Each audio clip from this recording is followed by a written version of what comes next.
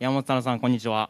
えっと、本当に今、国のその保障だったりっていうのは、ほとんど全くあのちゃんとしてないんだろうなって思うんですけど、今、この、えっと、パンフレットを見ら見させてもらって、あのいろいろ免除っていうところに、す、べ、ての教育無償、奨学金はチャラにっていうことを見させてもらいました。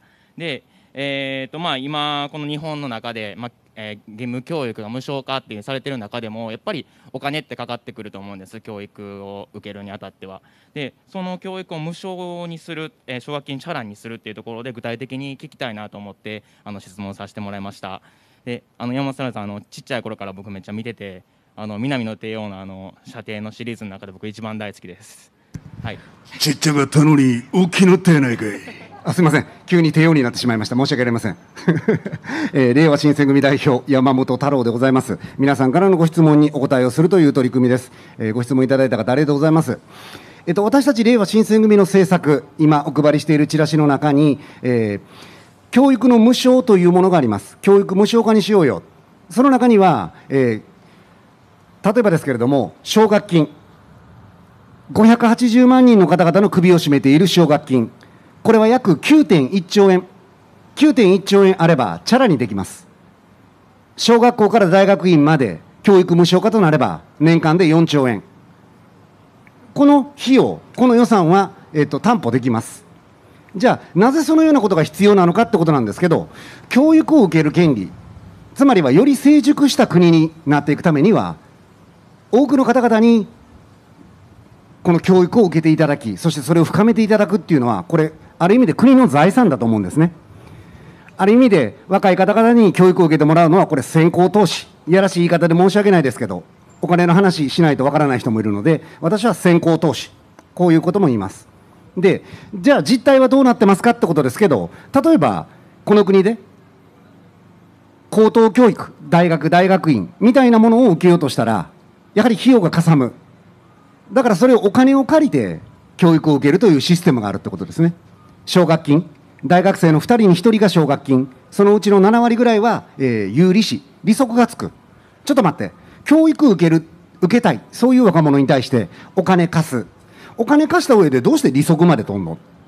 なんかの商売ですか？はい、なんかの商売なんです。年間300億円ぐらいの利息、これを懐に入れてる奴らがいるってことです。なんでそんなことするんですか？金融商品にしちゃってんです。学びたい若者に対しても金融商品にしてしまうような国は滅びますよ。いつの時代から始まったかって？小泉の時代から始まった。むちゃくちゃですよ。教育に対してこのようなことをする国は、その他に対しても結構ヤクザなことやってるだろうなって私は思います。で、話戻ると、ありがとうございます。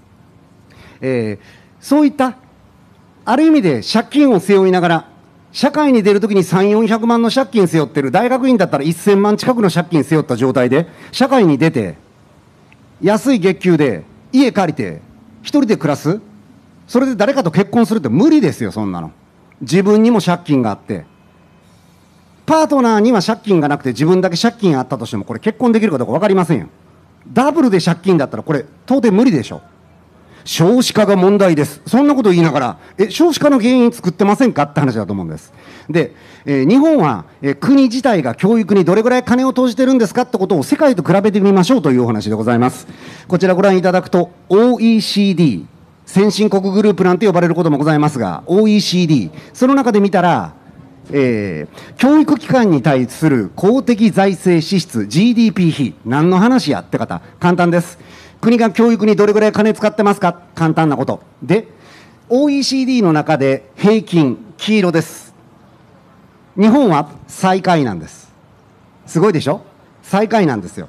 だから教育に金かけない国っていうのはどこに行くか。その個人その家族に負担がかかるようなシステムになっていく。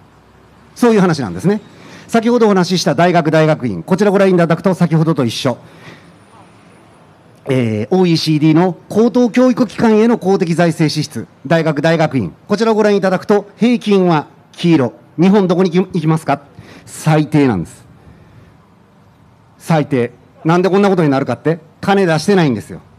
教育に対してだけドケチなのか？そうじゃありません。他のことにもドケチです。